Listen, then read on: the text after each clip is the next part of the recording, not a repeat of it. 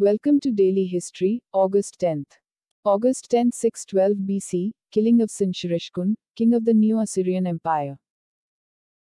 Destruction of its capital Nineveh, the capital was moved to Harran. August 10, 70 AD approximately, Second Temple in Jerusalem set on fire by Roman army under lead of Titus, during the capture of the city. Thanks for watching, please subscribe.